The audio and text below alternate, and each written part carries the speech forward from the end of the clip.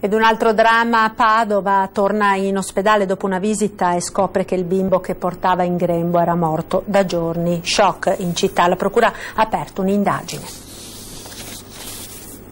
Il 28 giugno era andata in ospedale per un controllo di routine. Cinque giorni dopo, però, una donna incinta al settimo mese non sentiva più il battito del bambino che aveva in grembo e così era tornata in ospedale, sempre a Padova. I medici della clinica ostetrica hanno deciso di far nascere il feto con un cesareo, ma al momento dell'intervento si sono resi conto che la creatura non viveva più già da qualche giorno. Per la famiglia uno shock. Il marito della 35enne si è recato alla stazione dei carabinieri di Prato della Valle per raccontare i fatti. Il pubblico ministero del Tribunale Tribunale di Padova, Francesco Tonon, ha chiesto di acquisire le cartelle cliniche e ha aperto un'indagine. Ora c'è da capire per quanto tempo la donna si sia portata in grembo e il bimbo morto e quali possano essere le responsabilità dei medici. Chi l'ha visitata pare abbia rilevato che il battito cardiaco del feto aveva dei rallentamenti, ma probabilmente non era emerso nulla di grave. La signora infatti era stata rimandata a casa con l'impegno di ritornare in clinica tra qualche settimana. Poi la tragica scoperta.